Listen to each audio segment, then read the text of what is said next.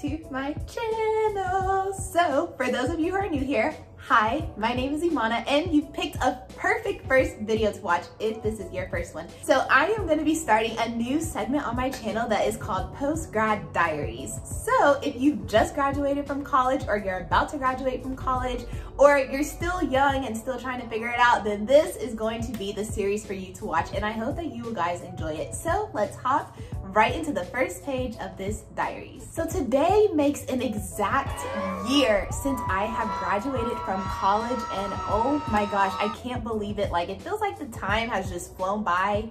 Well not really. Some days seemed really really long. Some months seemed really really long.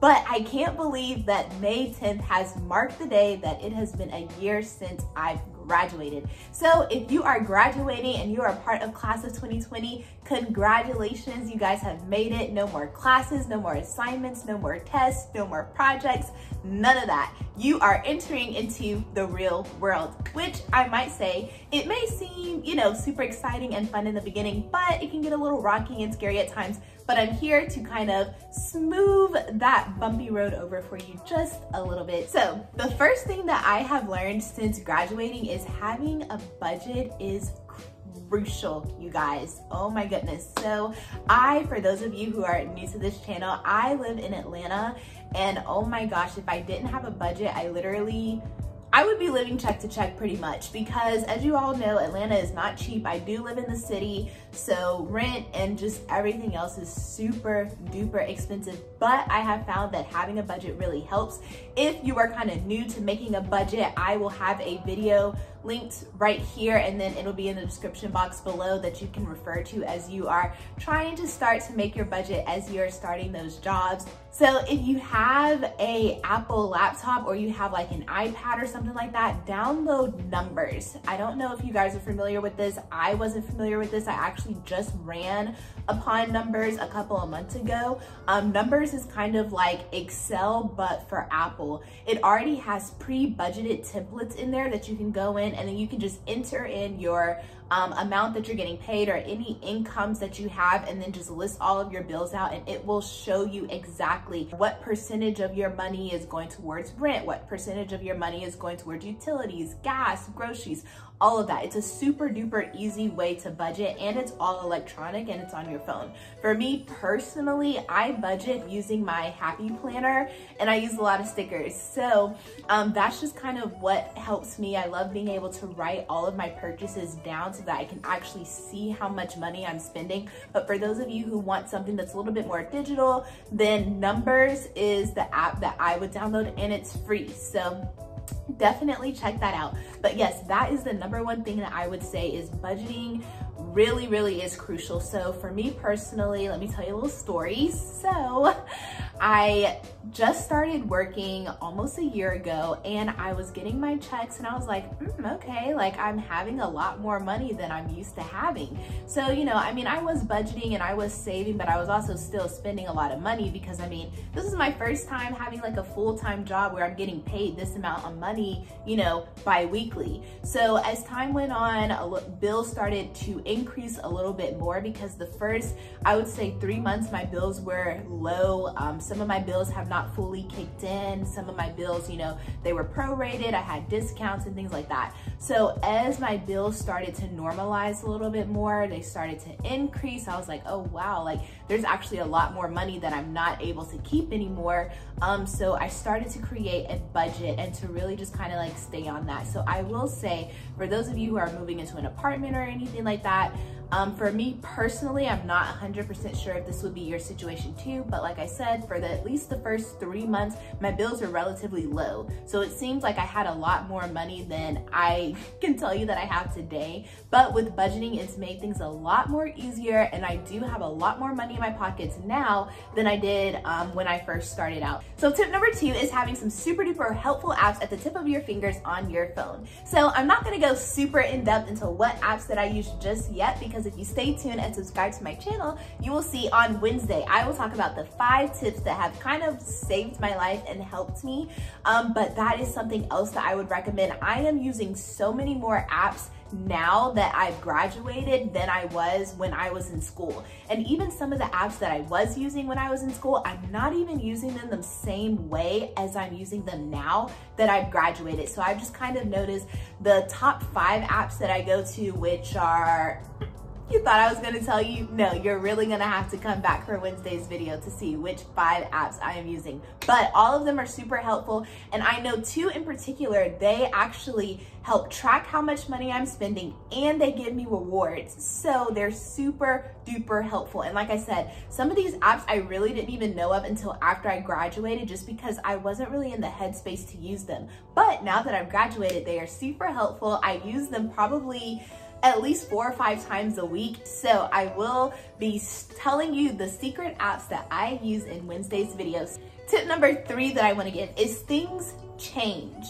Hobbies change, the friends that you hang around change, your interests change, and that's okay. The number one piece of advice that I have learned since graduating is I am now making sure that the friendships that I have are adding value to my life. And by adding value, I mean I am friends with people that I see qualities in them that I want to aspire to be like. So for example, I have a really close friend. She just got her master's degree and I'm so super proud of her. And I will say that she is super duper close to me. I aspire to be as successful as she is one day, you know? So it's just like making sure that you're keeping people in your corner who you aspire to be like. And if you don't aspire to be like them or you don't feel that they're adding value to your life, you don't feel like they can connect with you on the level that you're on right now, that is okay. We all have seasonal friends. You know, I have friends that, you know, I was friends with in college. We may not be super close anymore, but that's okay. I mean, there's no hard feelings around that. It just means we're in two different seasons of our lives right now. So if you notice that, you know, you're not talking to the people that you used to talk to every single day, or you're not hanging out with the people that you used to hang out with every single day, that is okay. People change, situations change, circumstances change, life changes and that is okay. So it doesn't mean to have like a chip on your shoulder as in, oh, like we're not cool anymore, we're not friends. No, like it doesn't even have to be like that. We're all grown and we're all growing. So you may just outgrow some people and that is okay. So my biggest piece of advice is don't take distance personally. The second piece of advice to this that I would give is hobbies change. And that's okay too. I know when I was in college, I loved shopping. I was at the mall literally at least three times a week. I was always buying makeup, you know, I was always just doing different things that I'm not doing now. So like my hobbies now are like YouTube. Um, I love putting stickers in my happy planner. I don't know if that's a hobby, but I do this like literally every single week. It's something that I can't go a week without doing. So that's a hobby of mine. Um, I color a lot more. That's kind of like a stress reliever that I have. And these are things that I didn't necessarily do when I was in college. So your hobbies and interests may change. Again, that's okay. We are grown, okay? We are growing. So the things that you're interested in may change and that's fine. So the fourth thing that I wanna touch on is, oh my gosh, independence. Independence is not free, you guys. Freedom, even though it's freedom, freedom is not free. It's actually really, really expensive. So another story that I'll kind of tell you is when I was in college, I lived on campus. So I wasn't paying rent.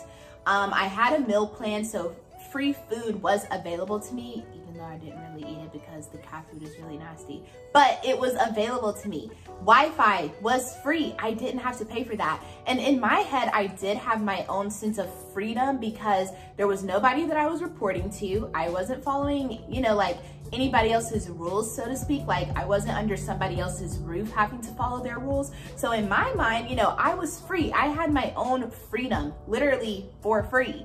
Now that I am more independent, I am away from home, you know, I have a lot of freedom a lot of it and it's actually really, really expensive. So I actually have a lot of freedom now and it's actually really, really expensive. So I think the bulb just kind of like went off for me when I was starting to pay bills. And like I said, my bills had started to increase a little bit. So I was like, geez, like my Wi-Fi bill is $70. Wi-Fi is not free.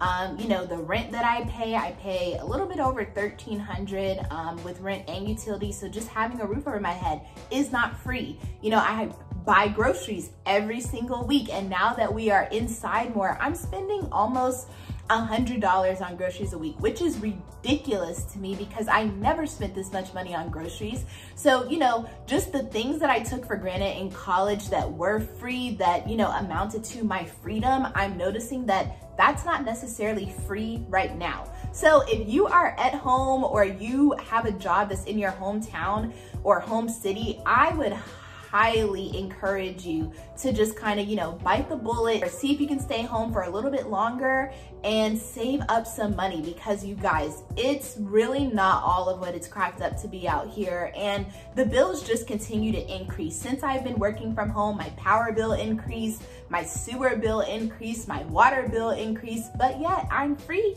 You know, I have my own independence, I have my own place, but it's actually really, really expensive. And if you can stay at home and save a couple thousand dollars, thousand dollars, I would highly recommend for you to just stay home and just know, you know, you can be free in your own mind. You can be free in a lot of other ways, you know, but having your own freedom, independence, your own place, it's not free.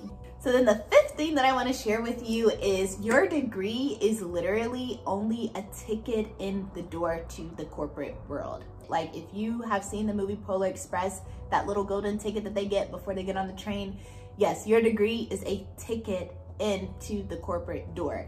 And this is something that I learned quite recently actually is you know I would be working and I'm just like oh my gosh you know like I'm not even using the knowledge or even some of the classes that I learned years ago in the job that I'm doing now and I just kept asking myself you know why did I even go to college if they're going to teach me anyways. You know, some of the stuff that you're learning in college is not going to be the same stuff that you're doing in your job. Every company is very, very different. Every company does things very, very differently. So no matter where you go, they're going to have to teach you. You're going to have to go through some type of training. So you're just like, okay, well, why am I going to college if you know, the stuff that I'm learning is not exactly the stuff that I'm gonna be doing. Or I'm not even using the knowledge that I learned back in freshman year, you know, in my job now, but yet I'm paying for it.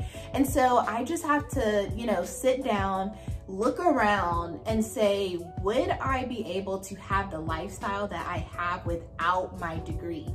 And at this point in my life, I might not be able to have that. So that's why I say, you know, just looking at your degree as a ticket in the door versus, well, I was in college and I didn't learn this, but I should have. And, you know, just going down that rabbit hole of was my degree worth it? Yes yes, your degree is very much worth it because without it, you know, you can't really get into the corporate door um, or it's gonna be a little bit harder to get in without that degree. So I just wanted to kind of like explain that a little bit more that your degree is literally your ticket in, your golden ticket into the corporate world.